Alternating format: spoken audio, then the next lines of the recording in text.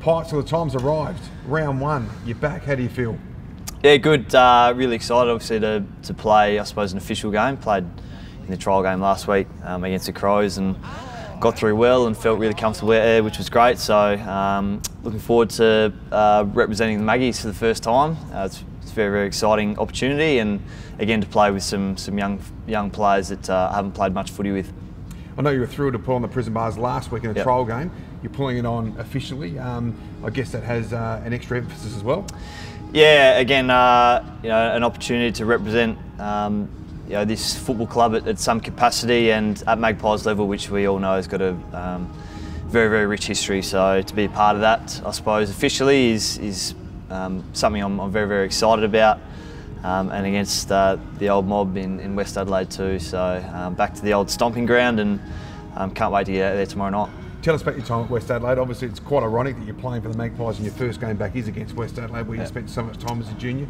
Tell us about your memories from West Adelaide. Yeah, look, um, so originally I was actually at Glenelg uh, in, in the under 13s, that was my zone. Um, but then, um, as a matter of circumstance, uh, my older brother got sort of traded to West Adelaide because he, he wasn't playing in the under 17, so they gave him an opportunity and I sort of followed him. So, um, ended up playing all my junior footy there from under 13s right through to under 19s. Um, you know, from a very young age, and then I obviously played a bit of senior footy, sort of 17, 18 years of age out there too. So some really fond memories. Um, I know the seniors at that point in time weren't weren't overly strong, but I do remember my, my debut up at South Adelaide in think it might have been 2007. Um, we we had a good win that that game. So um, some great memories out there, some great people. I'm still friends with a lot of people out there too. So uh, yeah, can't wait to come up against a few of them on Friday night. What sort of welcome do you think you'll get from Bloods fans? Do you, you want them to go a little bit easy on you? Remember your heritage?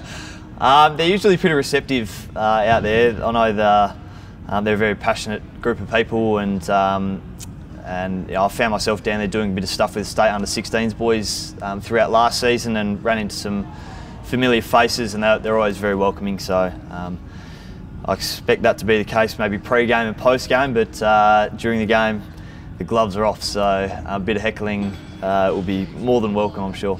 Just finally back your knee, you're obviously very pleased with how it's going and how you recovered after last week's trial.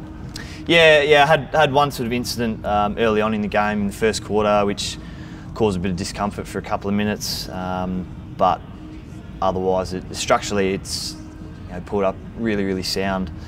Um, so I was, I was very, very happy with the way it, it got through last week, and um, we'll continue to build on it from there. All the best Friday night, mate. Good on you. Thank you.